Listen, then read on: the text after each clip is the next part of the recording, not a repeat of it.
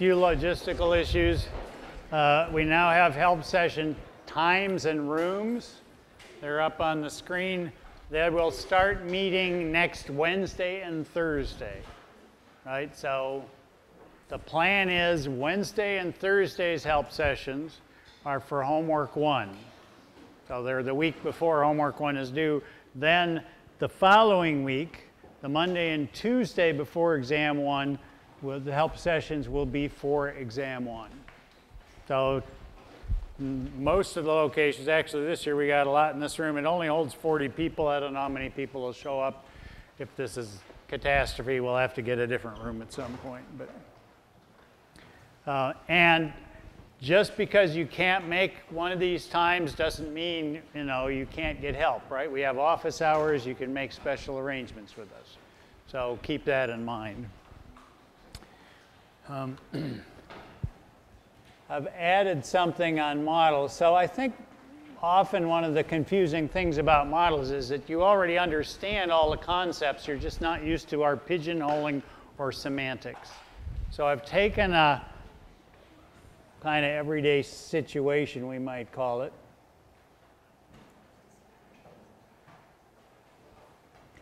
and put it at the end of chapter 5 so down here, the way this works, I guess, is you click on each page in the chapter and it comes up. But this here, what I call how you describe things, takes um, the language we've been using in class, the concepts, and applies it to the everyday situation of you start out with a, you know, you got a runny nose or you think you might have a cold or allergies. Um, you want to do something about this. You're going to go to the store to get an antihistamine uh, you know, which package do you buy, etc. And so that's the what I call your language and concepts, really all of our language and concepts. And I take each step of this and turn it into how we describe it in terms of the models, how the model may be useful, and what the limitations are. I don't know whether that'll be useful to you or not, but it's kind of, you know, every, what I'm, the point I'm trying to get across is that everything we do about decisions we make and that intrinsically involves, involves this process, and so this is one way of showing it. And by the way, that link is also on our other um, home page. So most things that I put up are available both on this page and the UT page. On the UT page, this looks a bit like um, models in everyday life.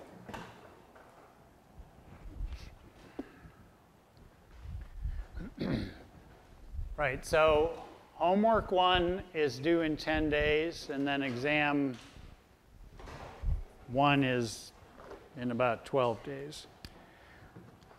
What I want to do, I'm going to do a number of things today, but we're going to wrap up the condom testing lecture. And so it's at this point, the demonstrations are over, sadly. Um, but I want to kind of put things in perspective and and let you kind of fill out some, some tables. So let's note up here, help sessions next Wednesday and Thursday. And now finish condom testing.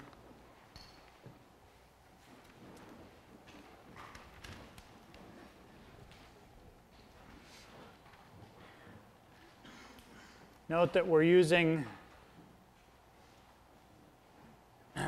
uh, models of condom testing or models in condom testing as models of sex right? So however artificial they may seem, given what our goal is, that is kind of what we're using them as. And so much, some of this was filled out last time, but uh, we'll complete the table. So I'm going to list three models and then we want to know whether we consider them to be accurate, convenient, and uniform. So we had the trained techs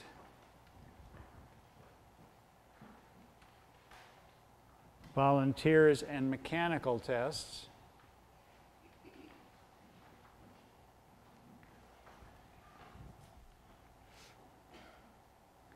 So you can put in, I want you to try and fill it out. And actually, I think two-thirds of this table was in your notes, but I didn't, I didn't cover all of it. so just put in pluses, minus, question marks, plus, slash, minus, etc., where you think they belong.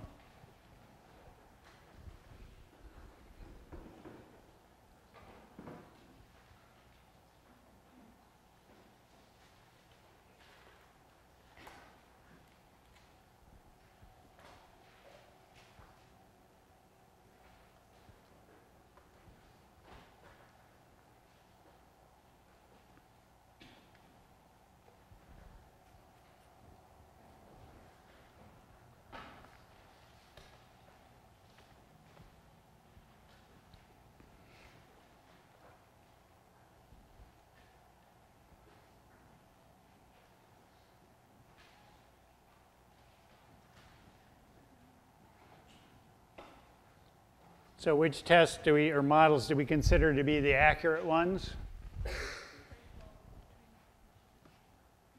Anything involving people, mechanical tests, accurate?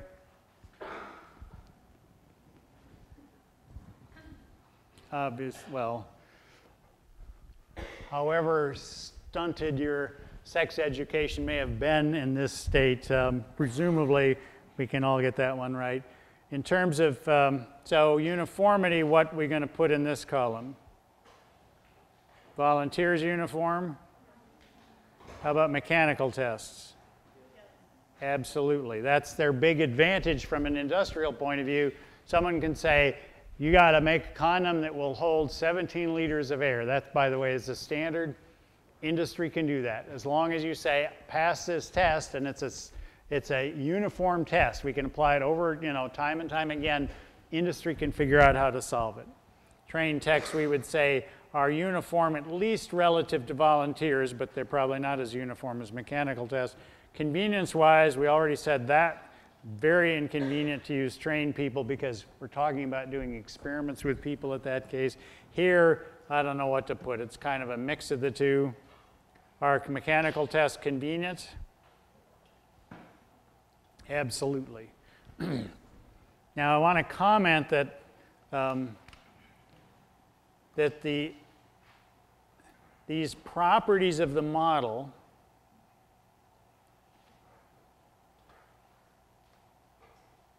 apply regardless of the goal, right? As long as we say we're using, you know, these are models of sex, um, doesn't matter what the goal is, we can assign whether they're accurate, convenient, and uniform.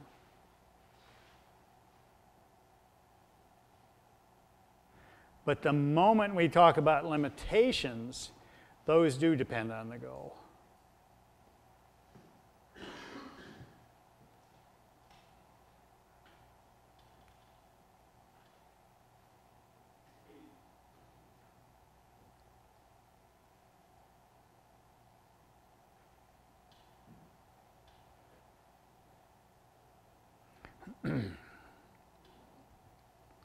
So that's a, a summary from last time. We're going to have another table further down the road, but I want to talk next about volunteer studies. Goal.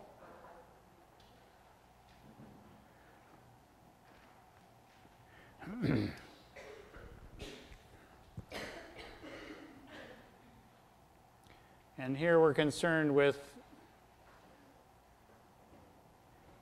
assessing STD transmission. And this actually was HIV. So, you know, the history was HIV was, um, they realized they had this disease about the time I got to UT, maybe a little before early 80s. And unprecedented in many ways. They initially they didn't know what was going on. They knew they had some people dying in San Francisco. Their immune systems were collapsing, you know, and eventually they figured out it was um, a sexually transmitted disease. Unprecedented in many respects, but you know, a massive worldwide epidemic, right? We're talking about tens of millions of people infected, and at the time, uh, it was a death sentence because we didn't have drugs available. So there was a lot of interest in figuring out how to prevent transmission of that, you know, and people aren't going to quit having sex. So the question was, well, if they had sex with condoms, would that reduce transmission? So there were some volunteer studies done, and there may have been some done um, more recently. And the question is, if you're going to do a study like this to figure out, so we're asking the question, do condoms prevent or reduce the transmission of HIV? How are you going to go about doing this with volunteers? Let's say you're going to work with couples. What are the character, and, and you got couples willing to volunteer. What kind of couples are going to be useful? Well, one's where one's infected and the other one isn't. So you hear that? One of them has to be infected and the other not. Now, if they're both uninfected and they're having sex with partners outside the relationship, you might be able to use them. But if they're both already infected, they're useless for you in figuring out transmission right? Because they're already infected. So what you're really doing is a study here of, uh, it's called, by the way, discordant couples, which I don't ask definitions in this class. Um, one is HIV plus, one is HIV minus, and so you're really looking at the rate at which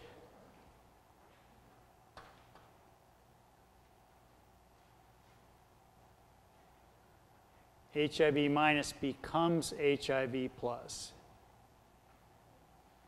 Right, that's the only thing that, that can be useful in this type of study. Now, now that we know more about this, um, there might be other methods you could use to look at transmission, but that is the kind of acid test of transmission. now, how do you think you can go about doing condom studies? Okay, let's say you have 100 couples discordant couples that are volunteering in your study that they will be subject. They agree to be monitored. What's the next thing? What do you, how do you go about testing whether condoms block HIV transmission or not? This now we're considering the reality of this study, ethics and everything. What can you do?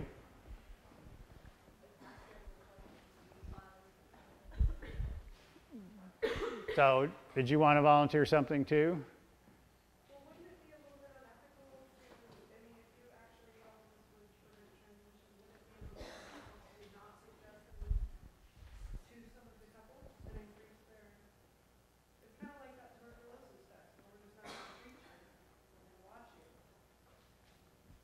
So you're saying it's unethical to discourage condom use in some of the couples as a way of figuring this out.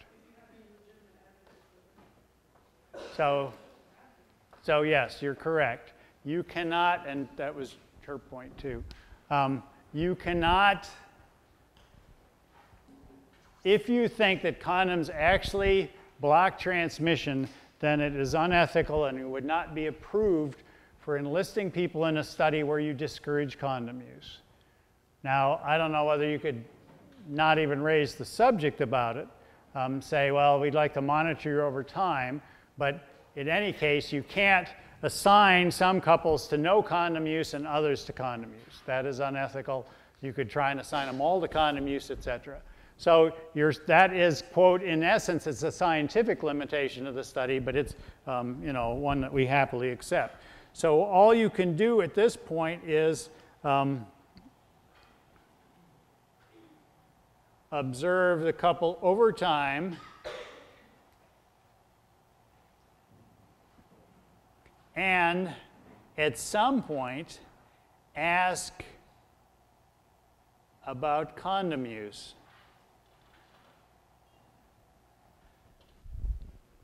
And you don't know whether they're telling you the truth.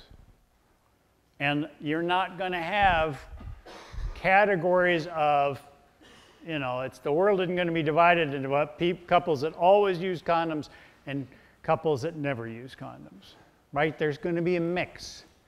And so you ask them about condom use. It's got to. It's probably going to be after the fact, at least.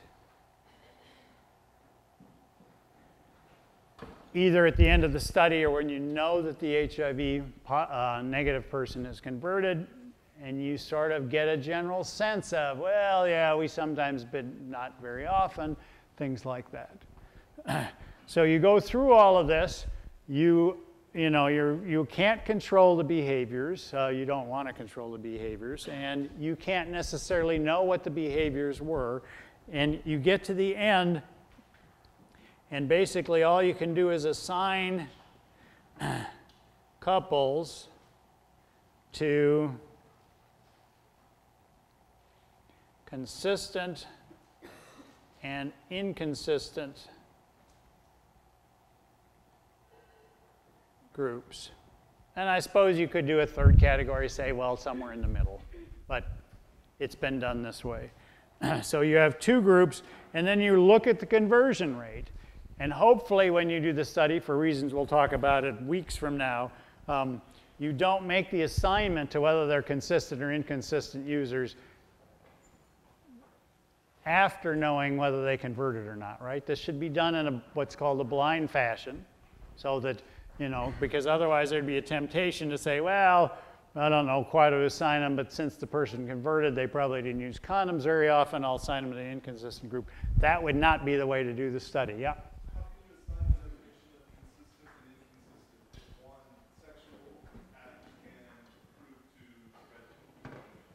Sorry, if one what?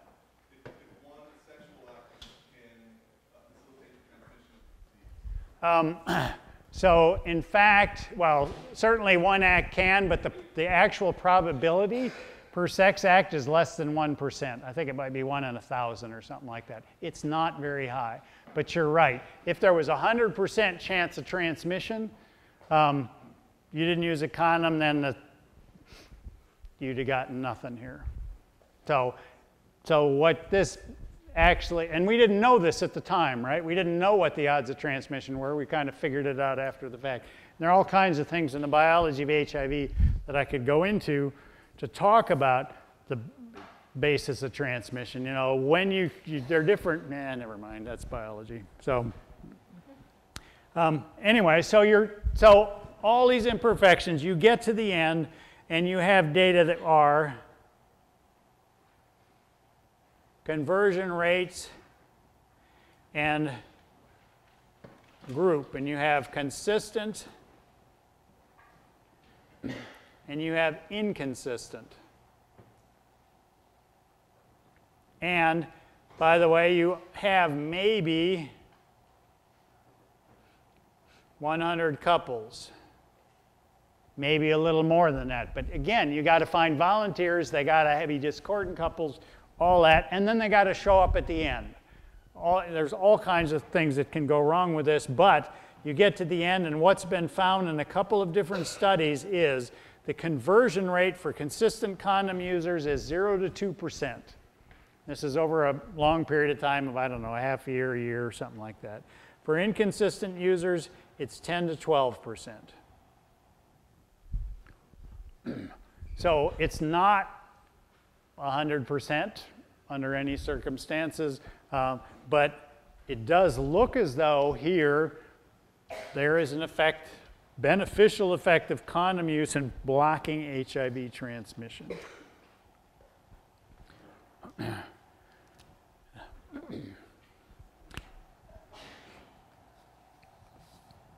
Now, to reinforce some of this and actually remind, well, help you think about what I just said, let's do one, one poll in class. so, what are limitations of volunteer studies in evaluating a condom batch for the goal of avoiding STD transmission? So now we're asking a little bit different question. Suppose we're going back to the mechanical tests, uh, the idea of trained sex technicians and, and so on. Suppose we were to use volunteers to evaluate batches of condoms for whether they, you know, should, whether they pass muster. So you got three choices. From bottom to top, it is difficult to get large samples of volunteers. There is a slow turnaround time from, sorry, there's slow turnaround from the time a batch of condoms is made until you find out if they're effective. And the top one, the source of any STD transmission that you observe cannot be attributed to the condom being bad when you're using volunteer studies. So pick, ah, crap, I didn't want this. There, ah.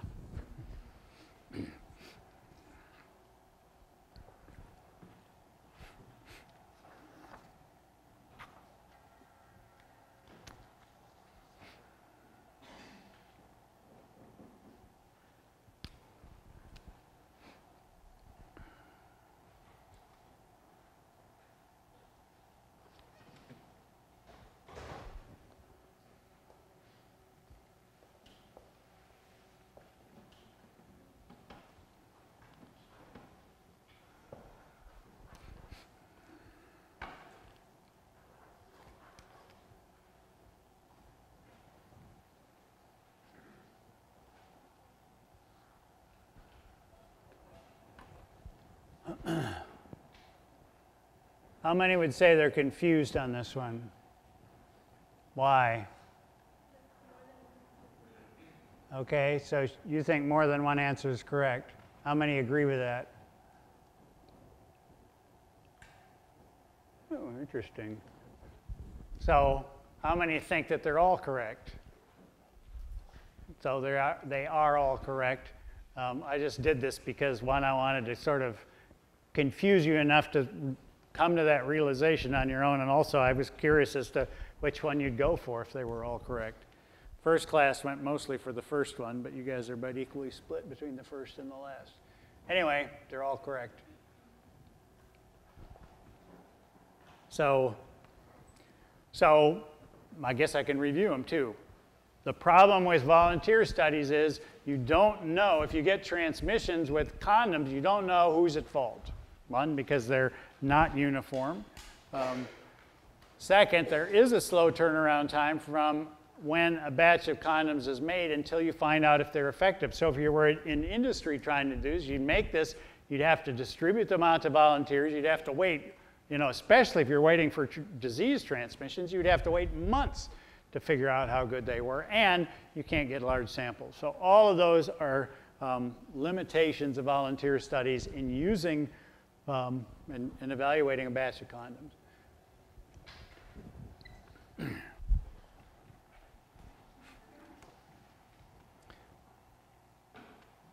So the volunteers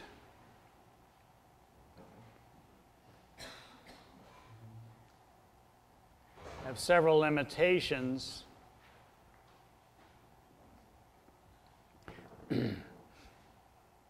as a model to evaluate a batch of condoms, or in fact, evaluate condoms in any fashion.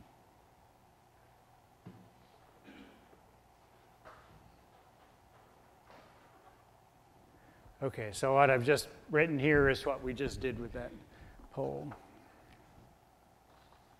So the last thing I want to do for this topic of condom testing is a big table, and I'm going to let you fill in most of it. So there are going to be four columns and five rows.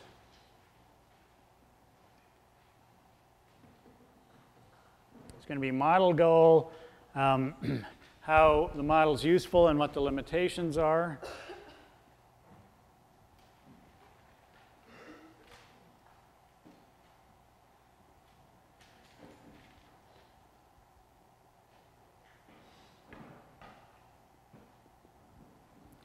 And the model, the first two models will be the airburst test.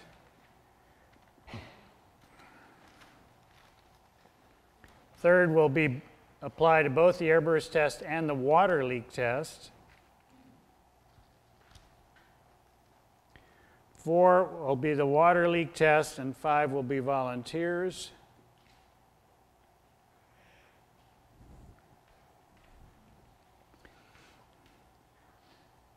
The goal will be no STD passage.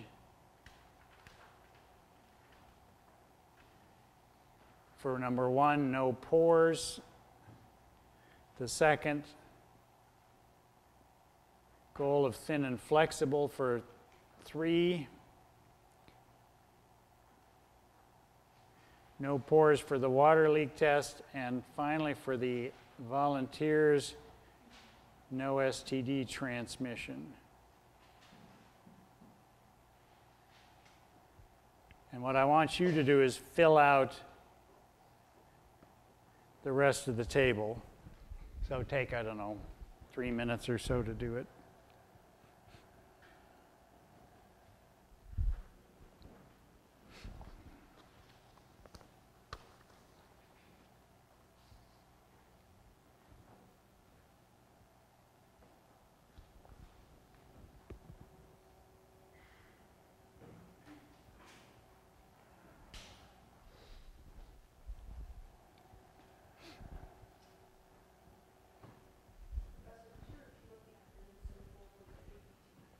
Airburst test? Yes, we've changed the goal. So if you have different goals, then the content of the table is going to change. That's partly why I'm setting it up this way.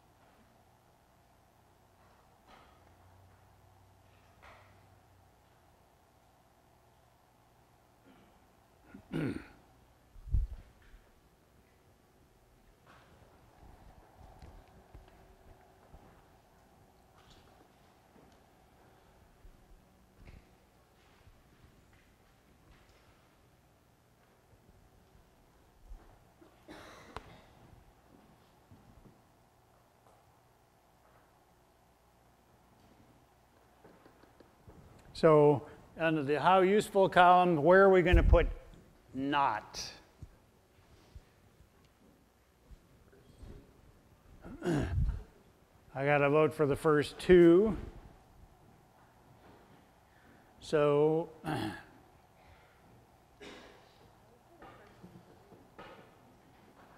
So I'm going to put for the first one not um, up there in parens because I'll comment on that. How about these tests for thin and flexible? What?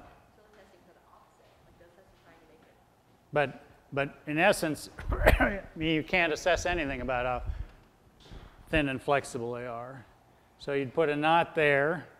Um, so, and by the way, I'll, I'll fill this out to some extent, but it's not that you have to get my wording, right? You just have to have an idea of, you have to have the right idea. You could have argued for the airburst test and no STD passage, maybe that word passage is misleading, um, that, well, the test could be useful in that it may indicate weak points in a condom that would allow STD passage. I mean, you could, you could argue it either way, right? I mean, it's certainly not very useful, but there might be some um, way you can stretch to this point. But if you do say it's useful in that respect, um, it does not really address STD passage except when the condom breaks. Right, so you're not, you know, you can't tell whether they're going in back and forth across the latex, but if the condom breaks, you know that the barrier is gone. Um, I better draw that here. Uh, not at all. Airburst test doesn't tell you anything about pores. You could have all kinds of pores in there and it, it would perform just fine. So you just say it does not assess here, which is obvious, does not assess there. So now we get down to the water leak test uh, with the goal of not having any pores. Is, is that at all useful for that?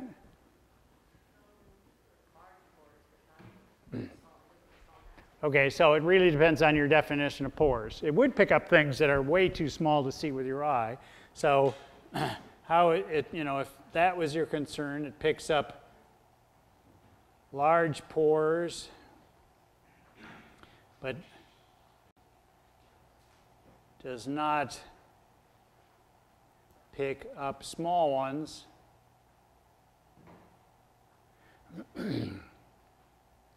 And I don't know what, when they instituted that test whether they knew this, uh, and maybe they actually um, reject some based on the test. I just I have no idea. so the volunteer studies are useful in that you can actually identify, or I can say identify actual STD transmission. You can pick up some real transmissions with it. But you got all the limitations um, as per the poll done in class. So none of this is perfect. None of these models, none of these tests cover what we want covered. They're kind of, it's like a patchwork quilt with a whole bunch of holes in it, but we kind of thread the whole thing together and figure, okay, well, we're as close as we can get. But we got all these overlapping models to help us accomplish that. So that's end of condom testing.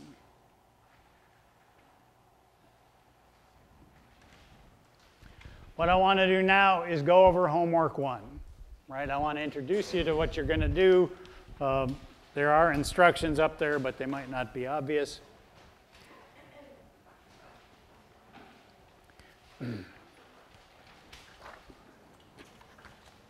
So first of all, let's look at some instructions.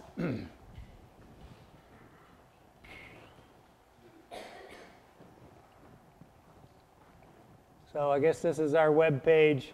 Here's homework. We click on that. So homework one instructions. You go to this. Um, I need to update this. Homework is actually worth 40 points this year. In the past, it's always been worth 33, but I upped it. Um, you're going to locate a news article or some kind of article. It can be online, it can be paper copy, less than nine months old. Why do you think I want it less than nine months old? Relevant. That's one possibility. So the what are? So the methods are up to date. Let's get practical here. I don't want last year's assignments showing up. So if you have to use an article, it's less than nine months old, people in the class last year couldn't have used that article. so that's what it comes down to, right? Um, and so if it's 10 months, you won't get dinged on it, but but if it's close enough that we can think, ooh, you know, maybe that maybe we saw that last year, not good. Um, what you're going to do is identify two models of different types in this article. If you can't identify two models of different types in the same article, you can use a second article. You shouldn't have to go there, but we're trying not to constrain you in any way. um, and then you're going to fill out a template, right? It's kind of like the table you were just filling out here. Um, and you're going to, we're going to use a particular form. It says articles here, you, um, nine months old again. And you're going to take this form, you're going to get a PDF out of this. You're going to take this form and you're going to upload it to Blackboard. And you're going to upload it to, yeah, I didn't update this one. So somewhere I just updated this thing. But anyway, you're going to upload it to a virtual class, which is V00197, I think, not the unique number for the section you're in. So there's a virtual class that combines both the 10 and o'clock, 10 o'clock and 11 o'clock. That's the one you're going to upload it to. If you try and upload it to the other one, you won't see any kind of link or whatever it is on there to do it. So you're going to upload it to that, and then you're done. Um, if you can't, if there's not a link to your article that we can go to, then we kind of need some indication of what the article was so you can scan it. You can, I don't know, figure out some way you could bring a hard copy into to class if you wanted for it. So that's kind of the nuts and bolts of how you're going to um, how you're going to do it when you get the uh, materials down. So you're going to identify two models of different types. So so this assignment is in some ways easy and in some way tricky. Up till now in lecture, I say, oh, here's a goal, right? And here's a model. You figure out how it's useful. You figure out how, what the limitations are. It's kind of straightforward to do that. But in this article, you've got to come up with a goal, right? You've got to read this and you've got to figure out what the goal is. And there might be a half dozen different ways to choose a goal that's relevant to that article. And that's the tricky part for you because you've got to thread the whole thing together. There can be six ways of doing it that are all correct, but you've got to sort of figure out okay, well, if I choose that as my goal, the model is this, the limitations are that, and so on. And that's the hard part, I think, with this assignment is, is sort of backing up and saying, ooh, you know, I got to read this and figure out a goal here. So you're going to figure out a goal, you're going to do, all, you know, this sort of thing. You can read the rest of it, but now, um, okay, so then, and so there are some examples here, and, you know, curiously, I thought we had some used to have some good and bad examples, and I don't know that the bad examples still exist. No, they don't. Okay. So forget that.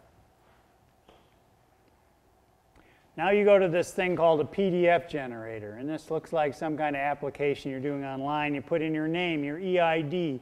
Um,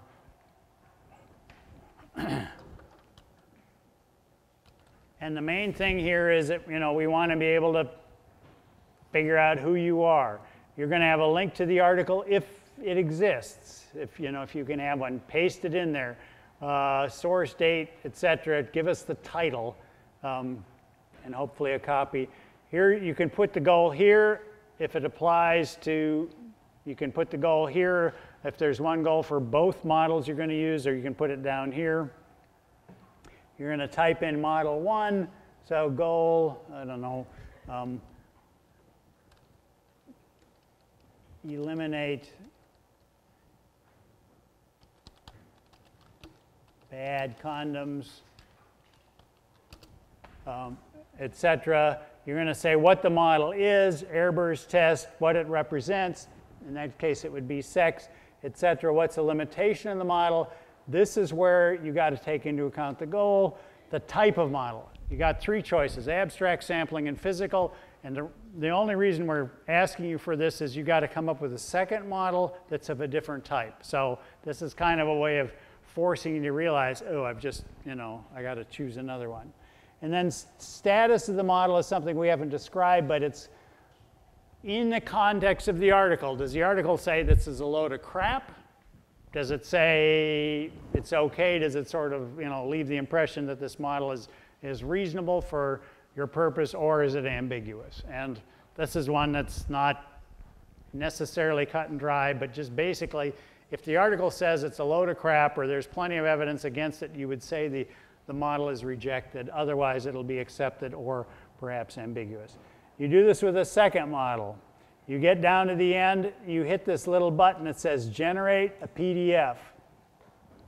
You are not done at this point because now you've got this PDF on your computer and it, you look at it, right? So it, it should be bold letters that what you typed in. You can see if your answers are all there. Then you take this and upload it to Blackboard. So that's the nuts and bolts of how you go about it. Let me give you an, an example now of um, what this might involve. So the setting is Monday morning the 23rd. you're getting up like kind of groggy. You're taking the shuttle to school, um, which I, by the way, I did tell the last class, you know, the Cameron Road shuttle is being shut down in the middle of the school year.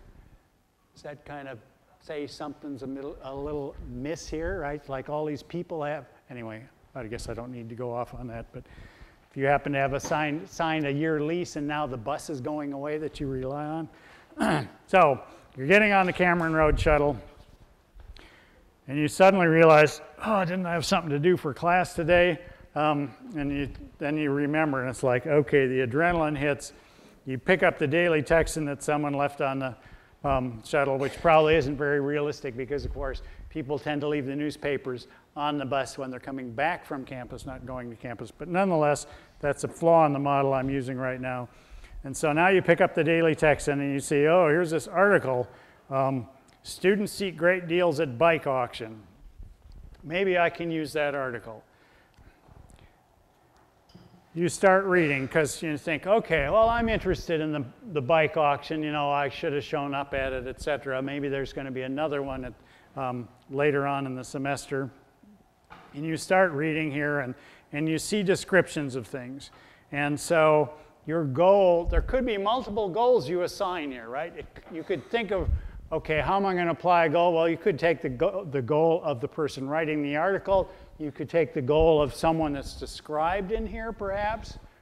Right? This is why it gets confusing. All of these will work. Or you could just say, well, my goal in reading this article is to learn something about the bike auction. So let's start with that goal.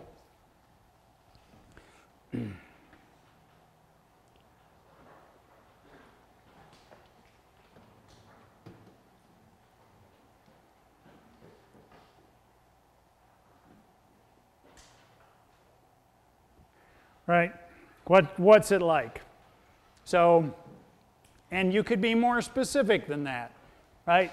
But that's okay. You can have a very broad goal, you can have a specific one. Um, so, model one, well, you read down here. Well, let's get to paragraph two. The auction takes more than 200 bicycles impounded throughout the year and sells them for prices starting as low as $3. It's like, oh, that's something I wanted to know. Model one, um, as low as $3. Okay, that's what is that a model of? Well, potentially how little money I might have to spend to get a bike.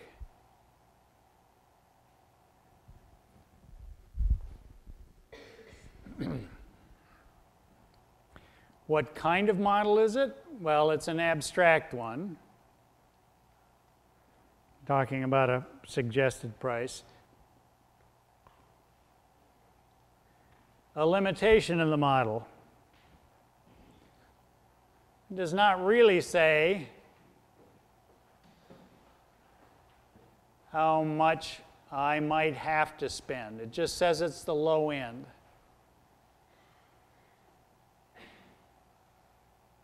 So you might be thinking, well, you know, three dollars, yeah, I can afford that. Go ahead. Um, for the model, why would you say as low as three dollars?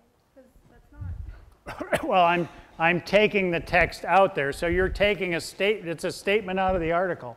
It's a description. So this is a model of something about the bike auction.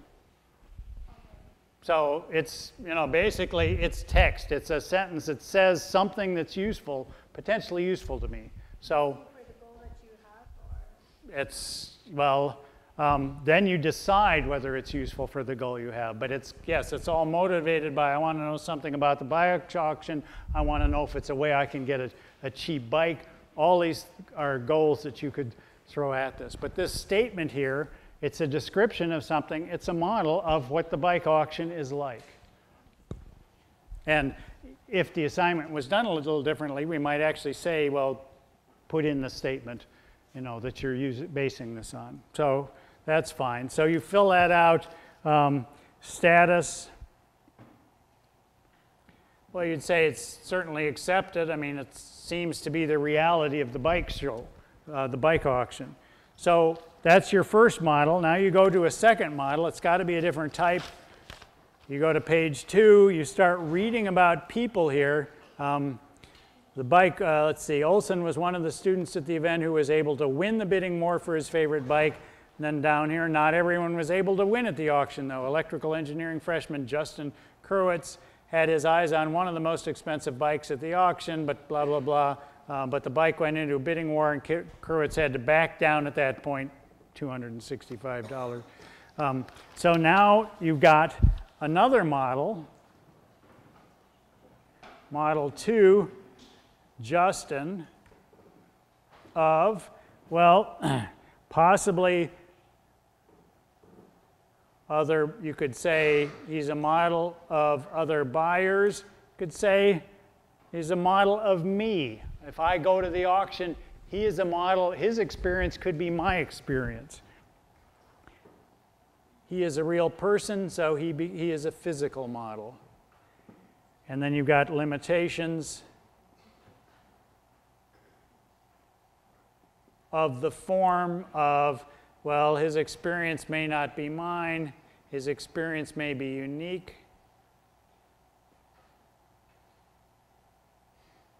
Be atypical, you know, all kinds of limitations that you have there. And I guess you fill out the status, again, that would be accepted, right? He's um, certainly a real person, it really happened to him, so and then you're done with the assignment. Now, I've taken something that's outside of science, right? There's nothing about health, there's nothing about formal science here. Um, just to give you an idea of how broad this can go. You don't have to pick a scientific article to make this work, although it might be easier.